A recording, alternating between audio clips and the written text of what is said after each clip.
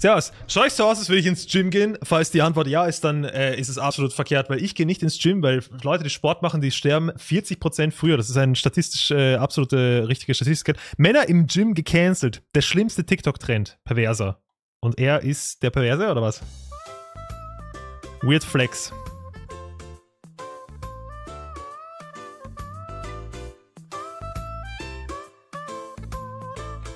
Oh, shit.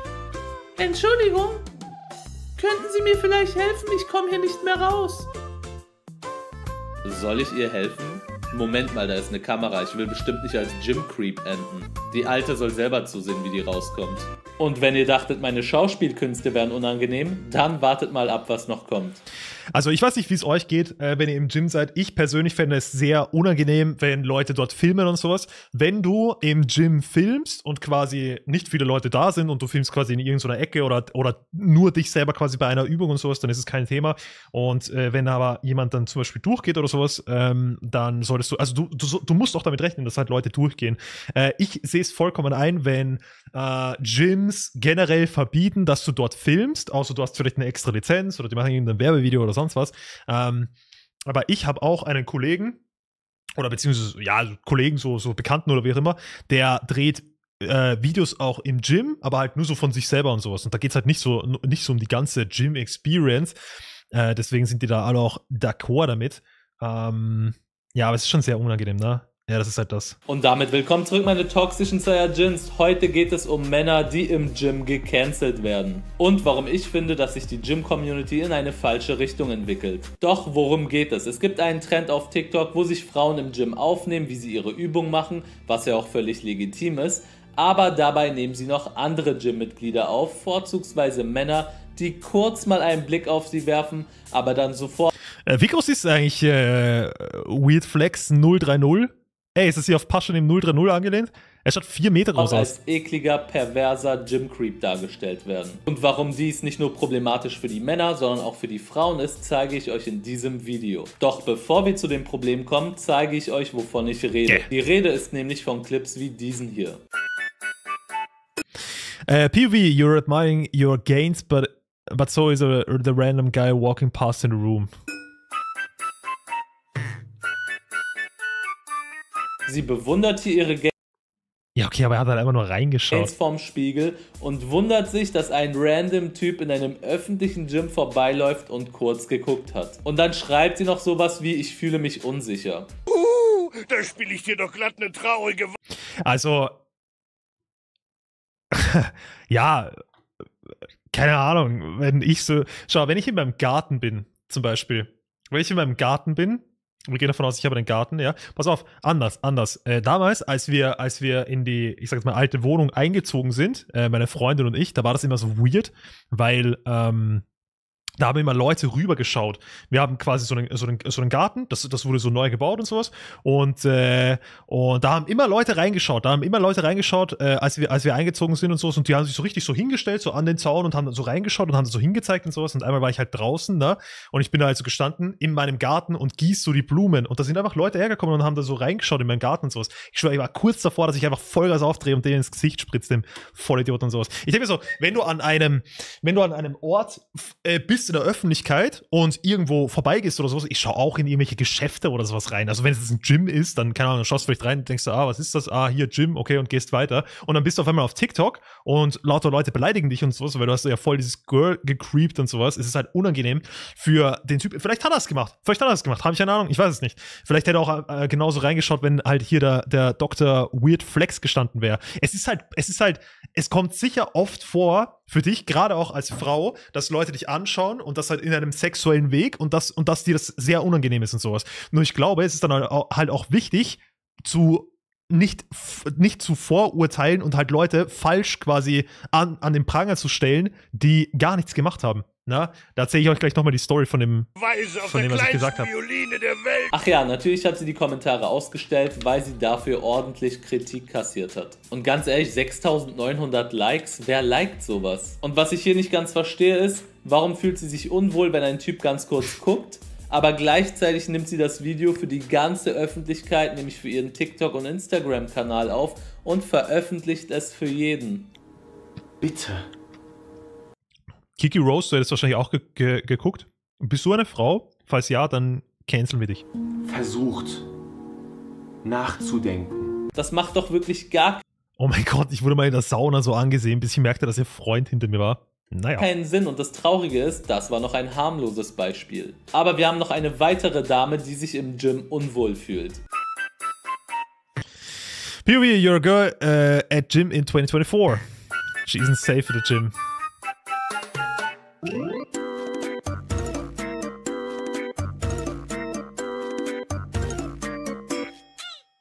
Und hier wieder Ja, also jetzt no front. Ich, ich verstehe vielleicht beim ersten Typen, der hat da so rübergeschaut und sowas, aber äh, er schaut dir halt straight in die Augen.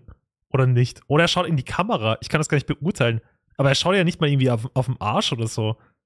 Ich, ich, ich stelle mir halt dann die Frage, ist halt dann der, ist halt dann die Überlegung, du gehst ins Gym und versuchst Leute zu finden, die dich anschauen, damit du sie dann auf TikTok exposen kannst.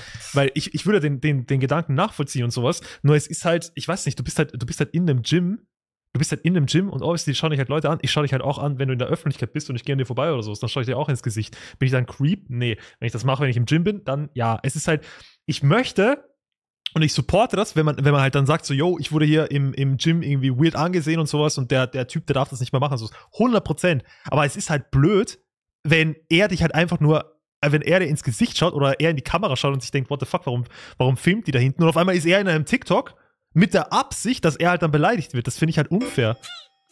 Und hier wieder mal dieselbe Logik. Sie postet ihren Booty öffentlich auf Insta und TikTok, aber fühlt sich unwohl und unsicher, wenn mal ein Mann kurz guckt. Vor allem schaut euch mal den Clip genauer an, denn immer wenn ein Mann guckt, macht sie das Ganze in Zeitlupe, sodass es so wirkt, als wenn er länger geguckt hat. Dabei waren es wahrscheinlich nur ein oder zwei Sekunden. Und ein bis zwei Sekunden gucken ist halt nur ein kurzer Blick und kein Starren. Und bei solchen Clips frage ich mich auch immer, wer ist denn der eigentliche Gym Creep? Der Mann, der dich kurz an Sogar ich als Frau muss da, muss da hingucken. Äh, ja, das höre ich öfter. Das hat Gnu auch immer gesagt, dass sie halt, dass sie halt hinschaut, aber es ist halt eben der, der Unterschied, ist halt kurz hinschauen oder halt anstarren, ist halt dann auch noch was anderes. Ich schaue halt auch auf, auf, keine Ahnung, ich schaue auch bei ihm ins Gesicht. Also ich fühle mich unwohl, wenn da irgendwo hat oder du, die ungefragt jeden Mann aufnimmt und ohne seine Erlaubnis ins Internet stellst. Und dir damit sogar deine Reichweite aufbaust und andere Männer als perverse Gym Creeps hinstellst, obwohl sie keine sind. Aber jetzt, meine Freunde, wird's richtig unangenehm. Ja, aber er hat doch bitte geschaut. Ich will das gar nicht mal. Ich weiß gar nicht, ob ich das jetzt zeigen darf. So. Er hat dir doch ins Gesicht geschaut. Na, das ist unfair.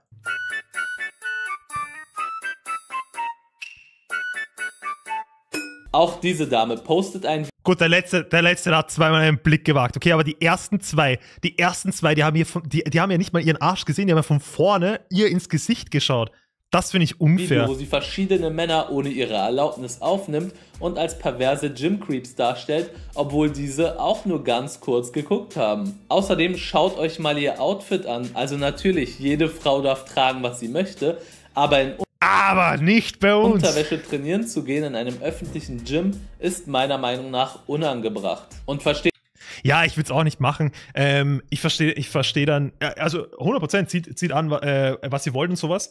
Ähm, und es gibt auch keine Aber. Aber, äh, nee, äh, na, ich versuche jetzt den Satz anders zu formulieren. Nee, zieht an, was ihr wollt, zieht an, was ihr wollt. Ich finde es dann nur unfair, wenn man, wenn man quasi, wenn man, wenn man sich so anzieht und auch extra die Kamera so hinstellt, dass sie schön auf den Arsch zielt und auf die Person, die da hinten steht, die dir dann ins Gesicht schaut, das impliziert halt einfach nur, schau mal, ich bin im Gym und ich bin eine Frau und ich bin leicht bekleidet und jetzt passt mal auf, wie der mich jetzt gleich anschauen wird und sowas. Das ist halt, das ist halt scheiße, weil so, du gehst halt durchs Gym und du siehst halt irgendeine Person und du schaust halt automatisch hin und dann schaust du halt wieder weg. Ist halt komplett, komplett Wayne. So in der Sekunde, wo du halt hinschaust, checkst du erst, ah, okay, das ist eine Frau und die macht da gerade Liegestütz und dahinter ihr, keine Ahnung, steht ihr Handy und ich werde gerade gefilmt und sowas. Du denkst dir, what the fuck? Und dann schaust du halt wieder weg und dann auf einmal bist du da auf TikTok so, so, wirst du dann exposed und sowas. Ich find's halt weird. Ich finde, es ist halt auch blöd, dass man halt dabei wirklich von dem, von dem, von dem, von dem Thema halt ablenkt, dass das halt wirklich im Gym passiert und dass du halt wirklich angestarrt wirst und sowas im Gym von anderen Menschen. Und das ist halt nicht gut, wenn man das dann halt quasi in eine Richtung lenkt, wo das halt so oversaturated wird, absichtlich und, und bewusst und auch bei, bei Themen, wo das halt gar nicht erst, oder bei Situationen, wo das halt gar nicht erst vorgekommen ist, zumindest jetzt nicht aus meiner Perspektive. Vielleicht haben die die alle zehn Minuten vorher komplett angestarrt und der hat sich gedacht, ich versuche das jetzt hier nochmal äh, auf der Kamera einzufangen, weil das ist dann halt beim nächsten Mal, wenn er halt dann, wenn du halt dann jemandem erzählst, so, yo, ich war im Gym und da hat mich einer angestarrt, dann denkt er vielleicht an diese Videos, die du gepostet hast und wird sich denken, ja, okay, du, du hast halt irgendwo, der hat dir kurz ins Gesicht geschaut und das war's dann. Und das ist halt ein Problem, ne? Also das, das schwächt halt wirklich von dem, von dem eigentlichen Problem, was es tatsächlich gibt. Das, das, das schwächt es halt einfach ab. Steht mich nicht falsch, starren ist trotzdem nicht okay, aber diese Männer haben sie alle nicht angestarrt. Und was ich problematisch finde, dieser Clip ist gerade mal eine Stunde online und hat schon mehrere hunderttausend. Aufrufe und über 9500 Likes. Solche Clips bekommen auf TikTok nach wenigen Tagen mehrere Millionen Views und stellt euch jetzt mal vor, dass ihr euch mal selber in einem Clip seht und euer ganzes Gym denkt dann, ihr seid irgendein perverser Gym-Creep, nur weil es irgendeine TikTokerin behauptet. Ja, so wie ich das sehe. Safe, vor allem dann kommt noch dazu, ich würde dann auch gar nicht mehr in das Gym gehen. Ich würde einfach nicht mehr in das Gym gehen. Ich würde einfach Gym wechseln, weil mir ist das halt unangenehm, weil was ist, wenn ich jemals wieder mit der in Kontakt bin oder sowas? Und die, äh, und die, und die filmt mich halt dann nochmal, weil ich habe kurz rübergeschaut und sowas. Äh, aber dann gehst du halt nicht mehr ins Gym und dann werden wahrscheinlich alle Leute, die dort im Gym sind, sich denken, ah, okay, jetzt habe ich den schon lange nicht mehr gesehen. Wahrscheinlich wurde der rausgeschmissen, weil er voller Creep ist. Hier gibt's drei Möglichkeiten. Jetzt kommt, jetzt kommt die Story. Das, was ich, das, was ich gesehen habe, das war so funny. Also der Typ hat mir richtig leid getan, aber der hat quasi erzählt, das habe ich hier schon vorhin im, im Livestream kurz angesprochen. Der war im Gym, der war im Gym und er ist äh, zu 100% blind oder falls blind der falsche Begriff ist, er sieht nichts, er sieht gar nichts, okay? Und er war im Gym am Trainieren und er hat da irgendwie, keine Ahnung, Hanteln oder sonst was hat er da gemacht oder sowas. Ähm, oder, oder irgendwie, keine Ahnung, Liegestütz oder Saltos. Und äh, er hat einfach so bl einen Blank Stare gehabt, einfach so in die, in, die, in die Ferne und sowas. Und dann ist eine Frau zu ihm gekommen und hat gesagt, ähm, yo, äh, Entschuldigung, aber warum schaust du mich so an? Und er hat dann gesagt, ah, äh, tut mir leid, ich, hab- ich mache das nicht absichtlich, sondern ich, ich, ich sehe nichts. So, ich, ich kann sie nicht sehen, ich habe einfach nur halt irgendwo hingeschaut und sowas. Und dann hat sie aber gesagt, ja, aber ich fühle mich dadurch belästigt. Und er hat gesagt, so, ja, tut mir leid, ich werde schauen, dass das nicht bevorkommt und sowas, aber ich habe sie halt gar nicht gesehen, also ich habe halt nirgendwo hingeschaut, so, ich, ich kann sie nicht sehen und sowas. Und dann hat sie gesagt, ja, es ist mir egal. Äh, und dann ist sie zum Manager gegangen und ist mit dem Manager zurückgekommen und der hat ihm auch erklärt, so, ja, entschuldigen Sie, so, äh, kann sein, dass ich sie angeschaut habe, aber es war keine Absicht, weil ich sehe halt einfach nichts. Ne? Äh, und hat ihm so den, den, den, ähm, den blinden Pass oder ich weiß nicht, Behindertenausweis oder sowas hat er ihm gezeigt und sowas. Also ist dokumentiert. Er kann nichts sehen. Dieser Typ kann nichts sehen und das hat er dem Manager gesagt. Und der Manager hat gesagt, ja, äh, das tut ihm auch sehr leid und sowas, aber die Frau fühlt sich halt trotzdem belästigt und da kann er halt nichts machen. Und da habe ich mir gedacht, what the fuck? Also ich würde dann straight Gym wechseln und ich hätte dann auch einfach das so als, als, als, als Story gepostet, weil ich meine, ich verstehe, es ist ein Unterschied zwischen, äh, du fühlst dich belästigt und und du und du, jemand versucht dich quasi so anzustarren und sowas. Und da denkst du auch, Bruder, der, der Typ hat null gesehen, einfach nur schwarz und er wurde von, von zwei verschiedenen Menschen deswegen angegangen.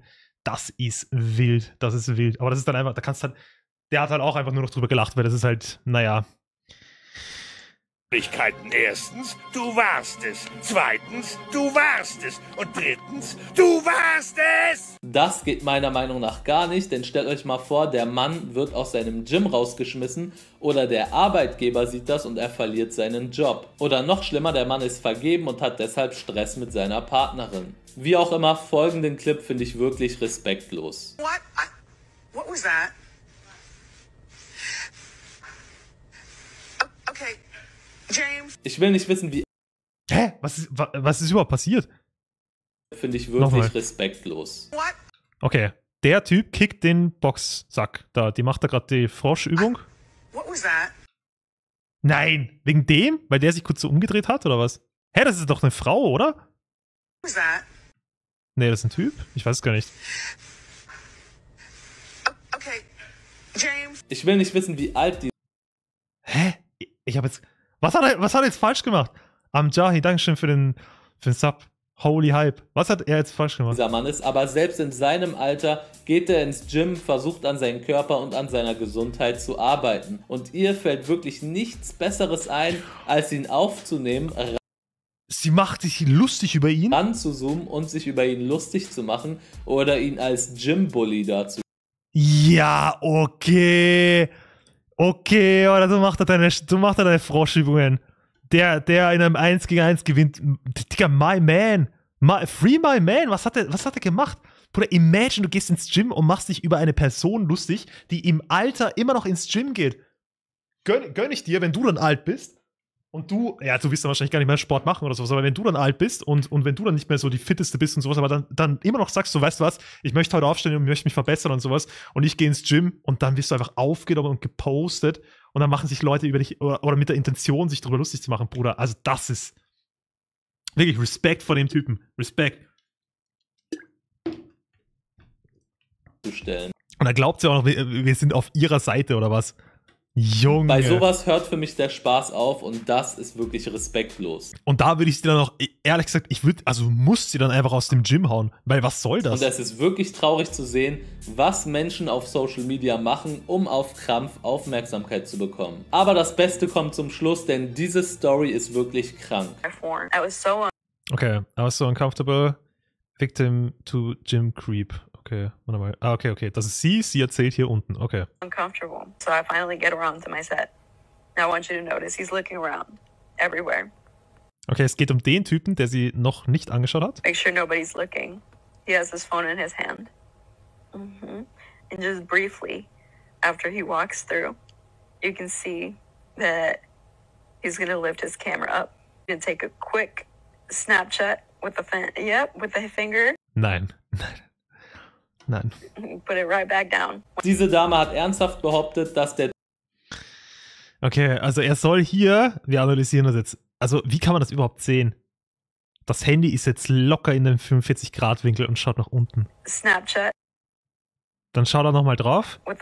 Und da hat sie jetzt gemeint, hat er gerade eben ein Bild von ihr gemacht. Ich weiß nicht. Das Problem ist halt, man kann das so wenig erkennen.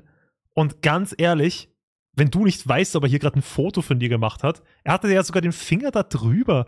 Warum? Wenn, wenn, wenn ich sehe, dass keiner hinschaut, dann mache ich doch nicht, dann mache ich doch nicht so ein Foto, sondern mache ich halt gleich so ein Foto, weil wenn mich eh keiner anschaut, dann ist mir das ja Wayne. Ich weiß ja nicht. Ich glaube auch nicht, wenn ich, wenn ich unauffällig von jemandem ein Foto machen wollen würde, dann würde ich, glaube ich, nicht das, das Handy so halten, sondern würde ich das Handy halt so kurz, zack. Na? Der schaut sich nicht mal an. Also ich weiß nicht. fin- yep with the finger, put it right back down. Diese Dame hat ernsthaft behauptet, dass der Typ nach links und rechts geguckt hat, um sich zu vergewissern, dass ihn niemand beobachtet. Wenn, wenn, wenn sie ihn dann irgendwie konfrontiert hat oder sonst was und er gesagt hat, ja, ja ich habe wirklich ein Foto von dir gemacht oder er hätte irgendwie mit, mit Blitz was gemacht oder sonst was oder er hätte wirklich so das Handy so gehalten, dann lass ihn mir schon einreden, okay, das sieht, das sieht so aus, ne? Aber ich meine, was ist halt wirklich, wenn das halt nicht stimmt? Wenn er halt nur kurz so auf sein Handy geschaut hat, weil ich schau, schau ich habe jetzt au- automatisch, ich habe hab das Handy auch so gehalten, das könnte für euch auch so aussehen. Jetzt hätte ich jetzt ein Foto gemacht, so, I don't know, I don't know. Und dann hat er doch mal schnell ein Snapchat-Foto von ihr gepostet. Wir schauen mal weiter und glaubt mir, es wird wild. But I was not looking, of course, because that's what predators do. Look around, kept grinning at me, made me so uncomfortable. Ja, das, das ist das, was, das ist das, was Predators machen. Einen nicht anschauen. Wahre, wahre Leute, äh, die, die deinen, die deinen, äh, die dich respektieren und sowas, die schauen dich nämlich an. Oh. So uncomfortable, I literally decided to leave. Ja, die Arme hat sich wirklich sehr unwohl gefühlt, dass der Typ kurz geguckt hat. And creep. And I am so glad that I did not see you do this because if I did, I'd be in jail and you'd be in the hospital. Bist du deppert? Bist du deppert? Keep your eyes open. He's a predator. Und hätte sie Okay, da, okay, das war nochmal das Close-Up. So, okay. Da sieht man es ja noch besser. Er hat das Handy in einem 45-Grad-Winkel. Er erzählt das sogar noch ein bisschen. Nee, wie? Wie soll er ein Foto von dir gemacht haben? Der hat das Handy so, so, so. Das schaut auf dem Boden. Das kann man doch hier erkennen. Das sehe ich doch hier in dem, in dem verschwommenen Ding. Keep your eyes open. He's a predator. Oh mein Gott, oder free my man. Free my man. Die hat ihn fast zusammengeschlagen, hat sie gesagt. Die hätte diesen Typen fast, fast zusammengeschlagen. Weißt du warum? Weil er hier Old Town Road von Lil Nas X abspielen wollte. Er kann es kaum noch erwarten, den neuesten Banger von, von Klöße Fritz abzuspielen. Und dann landet er einfach im Krankenhaus. Und das, und das Schlimmste ist, dann wird er auch noch hingehen zum Manager und würde einfach sagen: so, ja, keine Ahnung, der hat hier Fotos von mir gemacht und der hat mich sexuell belästigt und sowas. Und dann wäre erstmal dann wird er erstmal aus dem Gym fliegen und sowas und dann wird er wahrscheinlich vor Gericht da stehen und wird sagen: so, ja, what the fuck, Alter, ich habe nichts gemacht. Und dann schauen sie sich das Video an und denken sich, ja, tatsächlich, sie haben recht. Also, das ist halt wirklich gemein. Das ist wirklich sehr gemein. und hätte sie ihn gesehen, hätte sie ihn krankenhausreif Ich bin, ich bin, ey, 100%, wenn jemand, wenn jemand da, wenn du ein Video von, von dir selber machst und du siehst da im Hintergrund, da geht jemand vorbei und macht so ein Foto von dir oder sowas, 100%, dass ich dann sage, okay, geh, geh damit irgendwo hin, äh, erstatte Anzeige und sowas und vielleicht sogar, also ich will es jetzt nicht online posten oder so, weil halt, kann immer noch sein, dass es halt irgendwie Missverständnisse oder sowas, aber halt trotzdem so, ich, ich, ich würde es dann verstehen, wenn du dich halt davon so angepisst fühlst, dass du da sagst, okay, ich poste das und so, okay, aber halt das, das war wirklich ein sehr, sehr Nein, stimmt aber nicht. Geprügelt. Diese Frau ist mit Sicherheit ein Opfer. Ein Opfer ihrer Wahrnehmungsstörungen. Dass man im Gym nach einer Übung auch mal ab und zu nach links und rechts schaut, ist ja ganz normal. Und ich bezweifle, dass sie mit. Und es ist halt immer so unangenehm. Ich weiß nicht, ob ihr das kennt. An, an, die, an die Boys, okay? Wenn du so, am besten auch noch in der Nacht, bist du so, bist du so draußen und gehst einfach so eine Straße entlang. Und wenn dann vor dir, oder ich mache das immer so, wenn dann vor mir eine Frau geht, dann, dann stoppe ich halt und tue so, als würde ich auf mein Handy schauen oder sowas. Oder ich chill ganz kurz oder ich mache irgendwie, keine Ahnung, ich schaue in die Luft und denke mir, wow, schöne Wolke. Weil es ist mir immer so unangenehm, wenn ich hinter jemanden gehe, hinter jemanden gehe, dann fühle ich mich, das ist so wie wenn du aus dem Store rausgehst und die, und die fühlen sich, oder, oder du fühlst dich so, als, hättest du was geklaut, als wärst du ein Schwerverbrecher, obwohl du halt nichts geklaut hast, so. Das ist genau das gleiche Feeling, so. Du willst halt nicht der anderen Person so ein schlechtes Feeling geben und der Typ hat halt, hat halt vielleicht noch extra so, so weggeschaut, so durch die Gegend geschaut und sowas. Ich meine, ja, der wird sich auch denken, ah, toll, toll, haben es die Kletterwand neu gemacht oder sowas.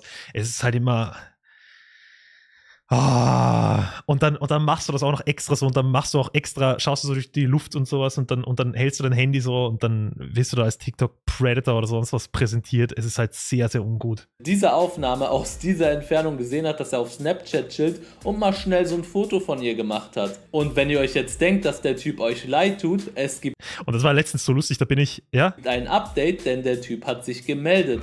Okay, okay, okay. Moment. Und da bin ich letztens gegangen äh, und ich hatte so mein, mein Handy in der Hand. Äh, und, und ich habe so gefacetimed. So.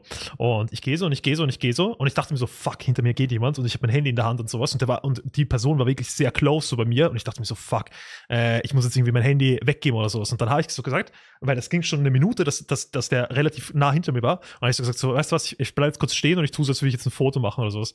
Und dann stelle ich mich so hin und dann schaue ich so rüber, war das irgendein kleines Mädchen. Ha, das ist irgendwie so hinter mir hergegangen und ich dachte, das ist irgendein so Typ, der jetzt mein Phone snatchen will. Habe ich mich auch blöd gefühlt. und zwar bei Joey okay. Swole, einem bekannten TikToker, der so einen Gym-Content macht. Luckily, a friend of his that serves with him in the Navy recognized him and reached out to me. He let me know that this man doesn't even have Instagram. He only has Facebook. So we sent him the video. He was very, very upset by this and explained that he wasn't taking a photo of her. He was actually taking a screenshot to send to his wife, who was also very, very upset. Ein Freund von dem Typen, mit dem er zusammen auf der Navy war, hat dieses Video gesehen und es ihm zugeschickt, weil der Typ nicht mal Social Media hat. Und er hat ihm erzählt, dass er kein Foto von der Dame gemacht hat, sondern einen Screenshot gemacht hat, um das seiner Frau zu schicken. Und natürlich war auch seine Frau sehr wütend über diesen Clip. Und wenn man sich das Video genau ansieht, sieht man auch, wie er den Screenshot macht. You can see his middle finger and thumb actually squeeze. For real. Jetzt, wo du es sagst. Denn er benutzt auch seinen Daumen, um den Screenshot zu machen. Also spoke to this gym, Choose Fitness. They were incredible. They immediately removed this woman. Geil. Ja, hört sich so. Was soll ich sagen? From the gym, rightly so. And they gave this man a free gym membership. Außerdem hat Joey Swole das Gym kontaktiert und die haben sofort die Dame aus dem Gym geschmissen und dem Typen einen freien Monat dazu gegeben. Auf jeden Fall eine sehr starke Aktion und ich hoffe, dass die Dame ihre Lektion gelernt hat und sich bei dem Typen entschuldigt hat. Wie ihr seht. Und das ist halt, wie gesagt, das Problem, ne? Weil ich, ich spreche das überhaupt nicht ab, dass sie das passiert und dass sie im Gym öfter solche Erfahrungen gemacht hat, weil das, du machst es ja nicht Freestyle, du gehst ja nicht ins Gym das allererste Mal und denkst, ja, jetzt wäre jetzt wär ich safe voll, äh, voll angeglotzt oder sonst was. Und deswegen stelle ich jetzt schon mal präventiv meine Kamera auf.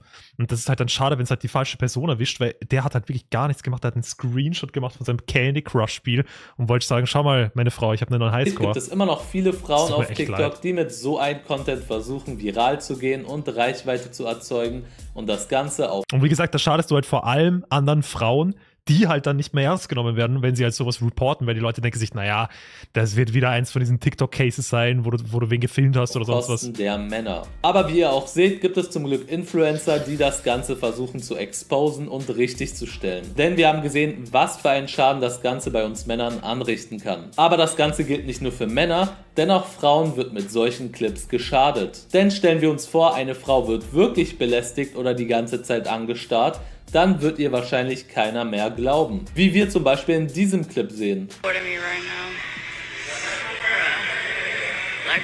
Ja, das ist schon ein bisschen offensichtlich, oder? Das ist schon ein bisschen offensichtlicher. Wo ist da das Screenshot? Ich sag dir ehrlich, genau so musst du dann halt auch reagieren. Du, du musst dann einfach dein Handy rausnehmen und dann einfach den Typen filmen. Und da gehst du hin und, äh, zum Manager und sagst, ja, äh, finden Sie das in Ordnung, dass der das da macht? Weil ich meine, er, er, er, das ist keine normale Handyhalteposition und der schaut sich auch noch fett an. Der Typ hält Ja, Der hört nicht mal auf. offensichtlich das Handy so, dass er sie filmt und versucht dabei unauffällig zu wirken. Und das Traurige ist, dass dieser Typ in Junge. den Kommentaren sehr Wie kann man auch so blöd sein und, und glauben, dass das nicht sehr auffällt? stark verteidigt wird. Grund dafür sind diese ganzen Clips, die wir am Anfang meines Videos gesehen haben, wo Männer fälschlicherweise als Gym Creep dargestellt werden, aber in diesem Fall ist es ja wirklich offensichtlich. Ich meine, Na, der wollte nur, der wollte nur seine neue, seine neue, seine, seine Kompass-App wollte da ausprobieren und der musste sein Handy so halten. schaut euch mal an, wie er versucht, das Handy unauffällig zu halten. Das Das ist schon sehr unauffällig. Das ist schon. Das macht man aber auch bei der Übung normal so, ne? Also du trainierst da nur, ich weiß gar nicht, was der da macht. Also der läuft da wahrscheinlich so. Äh, Da hast du dein Handy auch immer so, weil das ist, das trainiert dann auch den, den, die Handymuskulatur. Sieht doch jeder, dass er hier was filmt. Was kann ich zum Abschluss sagen? An die Frauen, die Männer fälschlicherweise als perversen Gym Creep darstellen, Safe bitte löscht gemacht. euch einfach. Denn damit schaden sie nicht nur den Männern und ihr Umfeld, sondern auch den Frauen, die mal wirklich einen Gym Creep treffen und denen dann keiner mehr glaubt. Auch viele Männer fangen an, sich im Gym unwohl zu fühlen und trainieren lieber zu Hause, weil sie Angst davor haben, in irgendeinem TikTok-Clip als Gym Creep dargestellt zu werden. Und das ist eine traurige Entwicklung, denn im Gym hat man sich früher gegenseitig supportet und auch ich habe als Anfänger immer nach links und rechts geschaut, um zu gucken, was so die ganzen krassen Leute machen, um mir teilweise Tipps zu holen oder was abzuschauen. Deshalb kann ich euch nur sagen, versucht euch trotzdem im Gym wohlzufühlen und schenkt solchen Frauen keine Aufmerksamkeit, denn früher oder später werden sie sowieso exposed. Und wenn nicht von Joey Swole, dann von mir. Freunde, ich habe Ja, wie gesagt, es ist halt ein sehr großes Problem, dass so ein tatsächlich nochmal ein tatsächlich bestehendes Problem, dass Leute angeglotzt werden. Man hat es ja hier auch gesehen, das ist ja wirklich etwas, was passiert. Ähm, also, also ich fand's krass, dass sie, sie hat sich ja zuerst selber gefilmt, die letzte jetzt. Und dann hat sie ihre Kamera umgedreht und hat, ihn ja, hat sie ja offensichtlich auf ihn gerichtet. Und er hat das ja gesehen, weil er schaut sie ja auch an. Er schaut sie ja auch an und es juckt ihn einfach nicht, der filmt einfach weiter.